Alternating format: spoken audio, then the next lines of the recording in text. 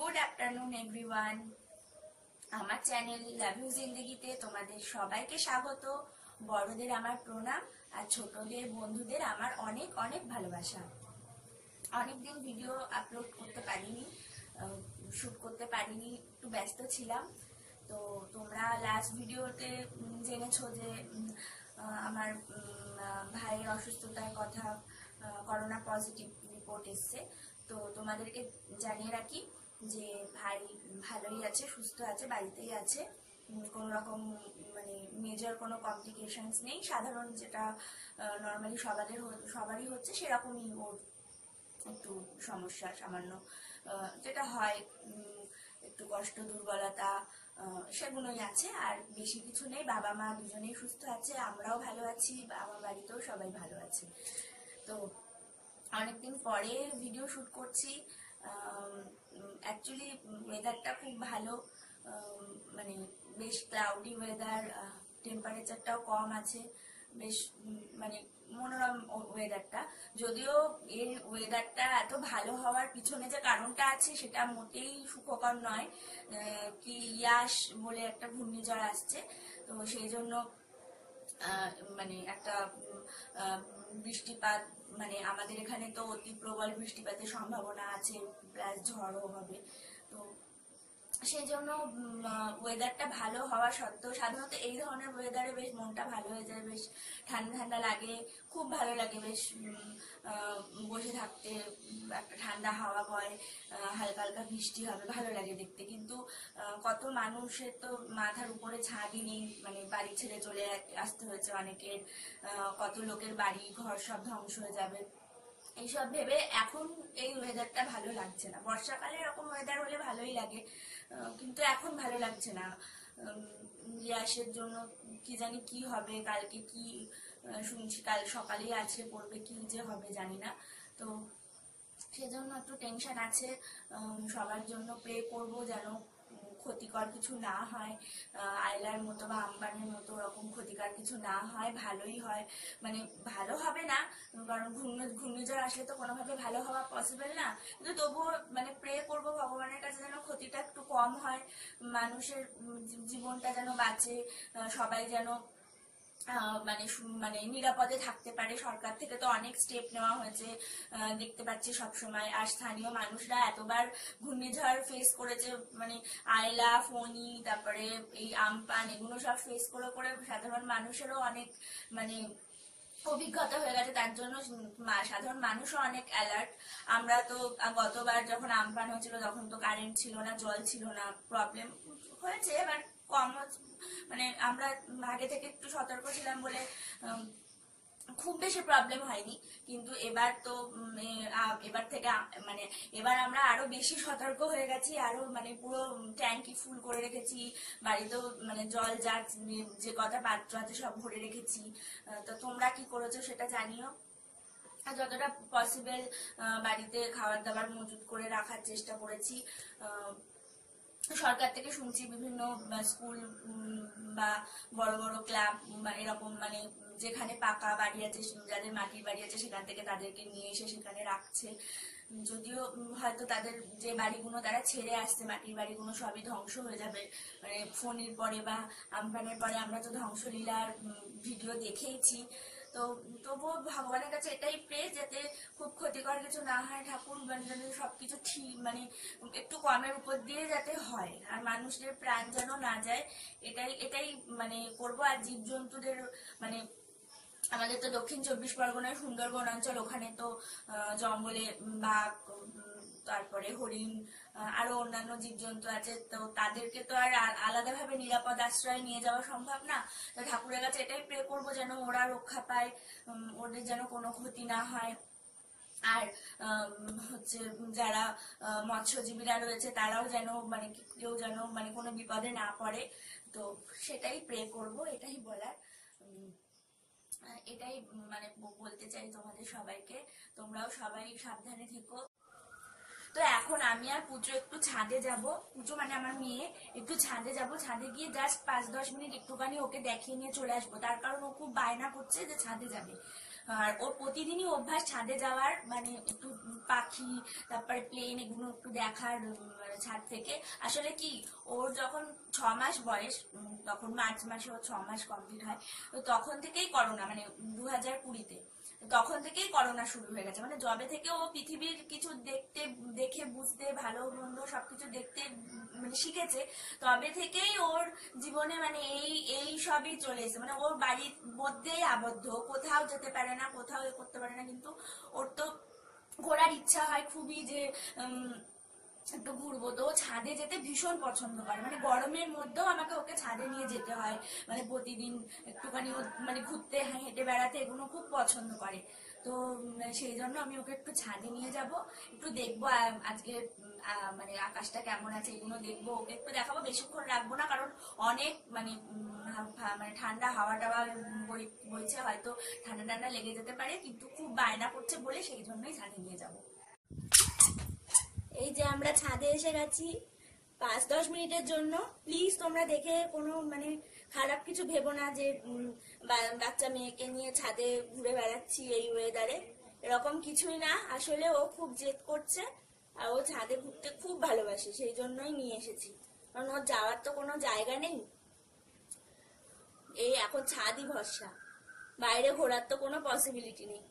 সেই জন্য ছাদেই ঘুরে বেড়াই আমরা। পাখি কই? মিনি বাড়ি গেছে। ও আচ্ছা।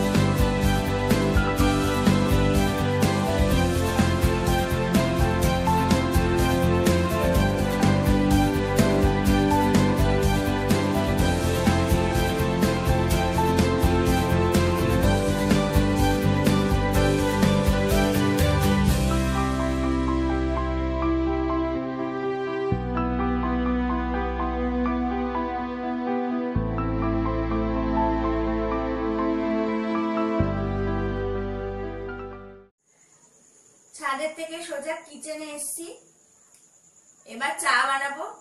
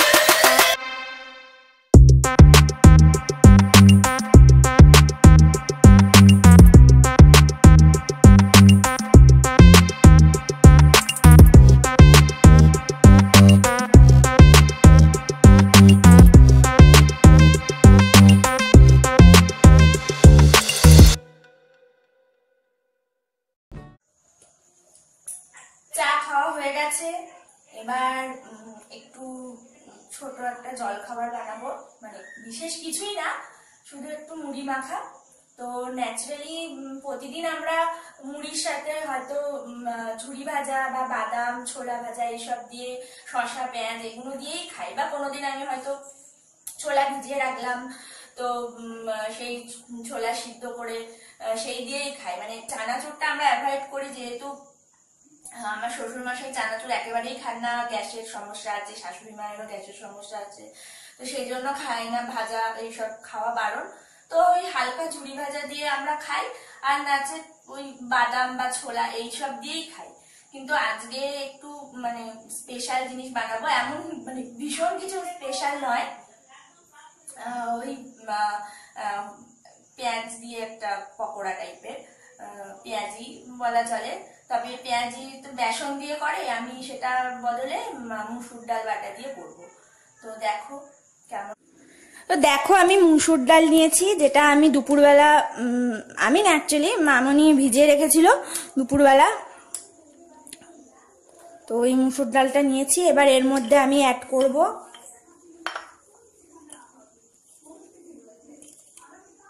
লবণ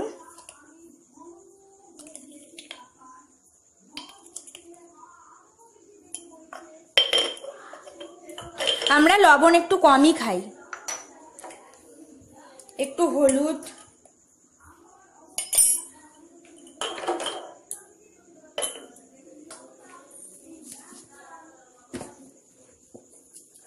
অল্প একটু চিনি।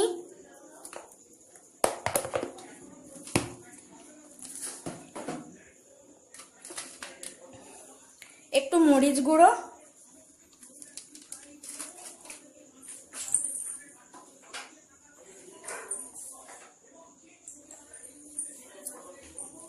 একটা লঙ্কা আর একটু আদা। এবার এটাকে মিক্সিতে পেস্ট করব।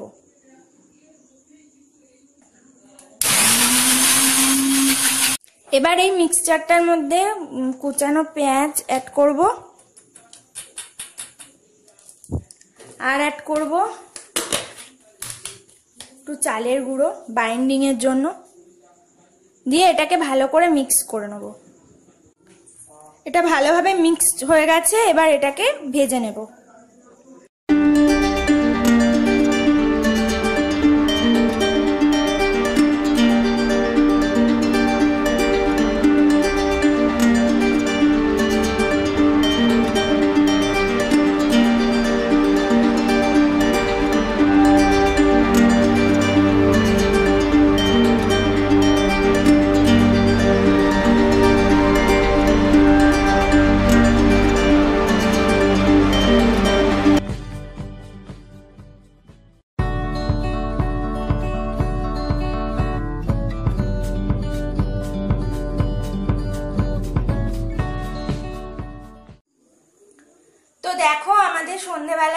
জলখাবার রেডি এটা আমার এটা মামুনির আর এটা বাবার। বাবার যেহেতু ভাজা এগুলো খাওয়া বারণ উম, পছন্দও করে না খুব বেশি তাই বাবাকে দুটো দিয়েছি।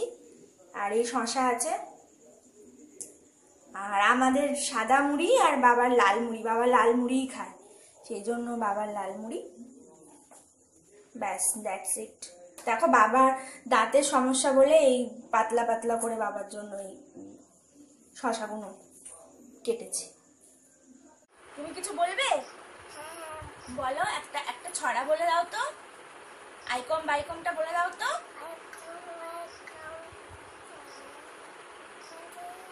হ্যাঁ। হ্যাঁ।